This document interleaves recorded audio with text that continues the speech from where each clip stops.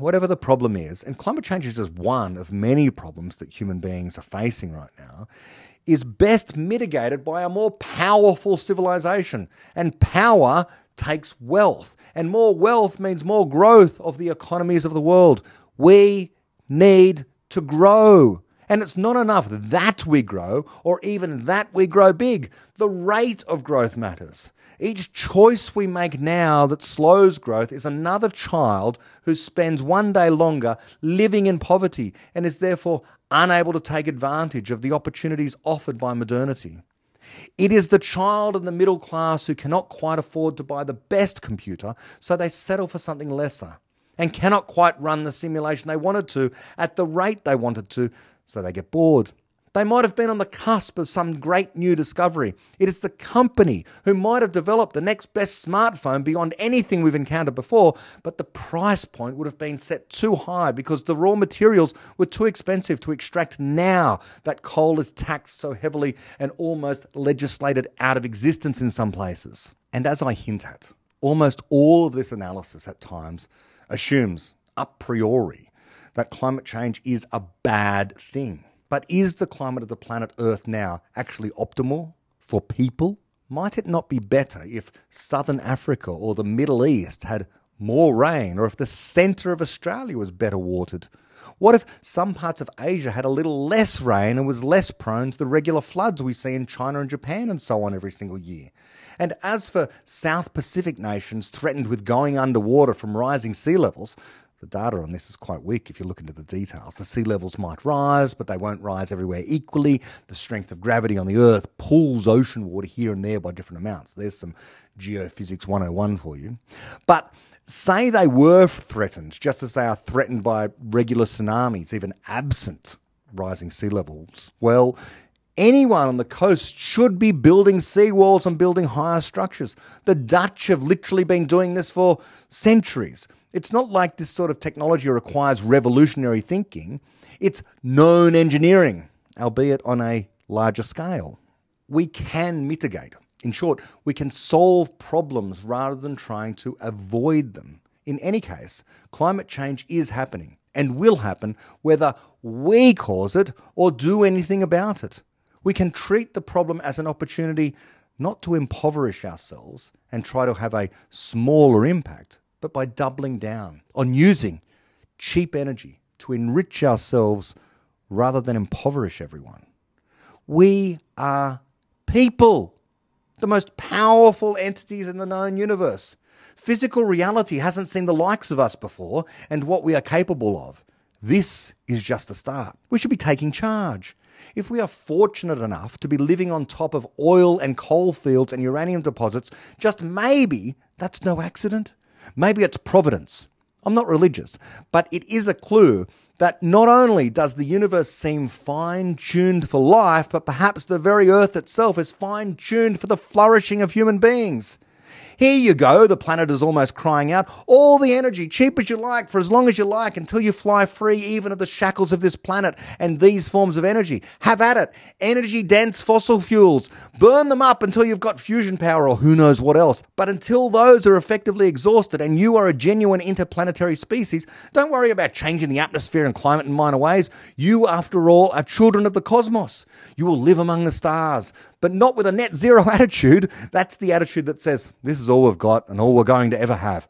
We're better than this. Let's fire up figuratively and literally. Fire the blast furnaces and reactors, and yes, even the coal fired power stations. Get them moving, reduce financial costs everywhere so we have the money to move mountains and hold back the sea with walls bigger than we've ever built before and lift the world to a standard of living and wealth we have not actually striven for before. Offer opportunity to people trapped in poverty because they cannot afford to pay their bills. Offer them the chance to save, accumulate wealth, claw back some time from jobs they don't much like, and be creative the rest of the time that they have. Let individuals create solutions for their lives and maybe for the world. Maybe then we'll have genuine alternatives. The fusion power we all keep hoping for, that thing which might be able to power the carbon capture devices to reverse the impact of the fossil fuels we did use for a couple of centuries to get ourselves to the place where we had the technology and knowledge of how to reverse the very impact of those things, if that's what we want. It's like Wittgenstein's ladder all over again. Once you've used it to climb out of the well of being a barely industrial society, you toss it away and then choose to use fusion power to suck the carbon back out of the atmosphere. Or maybe you don't. Maybe the science of tomorrow tells you that just a little more carbon dioxide is better for agriculture and old growth forests. Maybe the dinosaurs, not the actual ones, the metaphorical climate science dinosaurs, had ideas about trying to maintain stasis, as if the climate of 1800 was the ideal one for humans and the rest of the planet for some reason. Maybe we'll learn better. Maybe we'll be able to learn literally to control the climate and increase or decrease carbon dioxide rainfall or wind to the point where we can truly realize the age old dream of controlling the weather locally so crops are always watered and days at the beach never ruined by clouds or storms.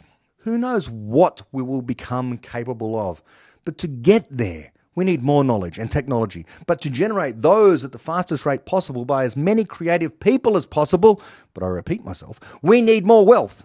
And that means not squandering it on projects today that cost billions transitioning from cheap, abundant coal and oil to Hard to manufacture low energy density solar and wind farms with short lifetimes and all sorts of additional logistical difficulties.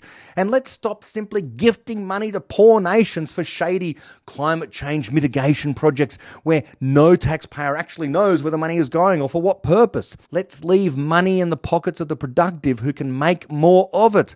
Maybe they'll make a fusion reactor, who can know? But we may not find out for decades or centuries hence if children around the world, including in Western nations, are raised in communities where half of one's income goes towards a housing loan or the rent, and the other half is for high energy costs, requiring some kind of welfare just to feed the family.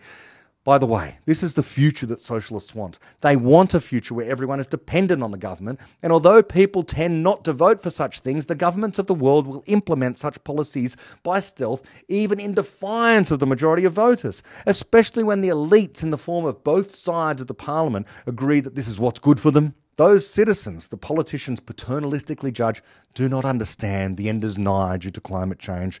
The academics and experts have informed us. We, the politicians, we have the inside word. It's our duty to push for net zero. The world has decided. The World Economic Forum has decided. The UN has decided. Unelected bureaucrats and eurocrats have decided. Who are we, one nation among many, to go against the tide? The argument is over. Fossil fuels are over. Renewables that need to be replaced and are unreliable, they are the only way forward. Buy shares now in your local wind or solar farm. Buy your solar panels. There's a government subsidy. Business, invest in green and get a tax break. Schools teach one side of the argument to be accredited. We are at a turning point, or at least we're at a point of inflection. We can continue to see inflation rise and the cost of energy skyrocket as we refuse to use the cheap and near ubiquitous, near the surface of the earth gifts of the earth to better ourselves.